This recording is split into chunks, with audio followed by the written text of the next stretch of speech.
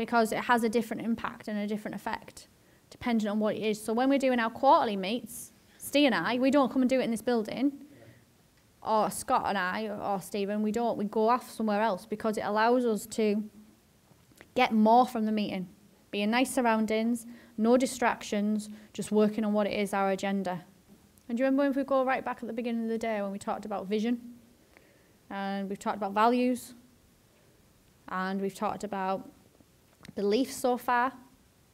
And obviously we're on communication right now. If we think of those things, some of your meetings can purely be around about your vision. Like the beginning of the year, like that's what ours are. We do a wrap up at the end of the year, a review. So everybody knows this is what's happened. This did we hit what we were hitting? Where are we going now? So like these things that we're talking about, they can actually be scheduled in that these happen and be part of your business. And so that vision gets shared with everyone. Everyone gets the same message. Everyone knows it. Everyone knows what the structure is going to be like. Everyone knows what you're planning for that year. Everybody knows, right, this is what we're doing.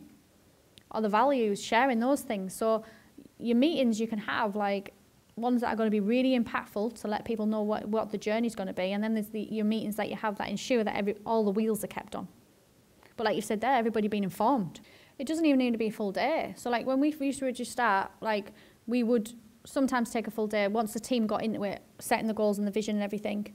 But because we got the team into getting used to personal development and growth as well, it was an opportunity for them to bring their goals to the table as well and everybody to get to know each other that, that so people were quite happy to go, you give us an hour, we'll give you an hour of our time, like that. So we worked out like that initially in the company.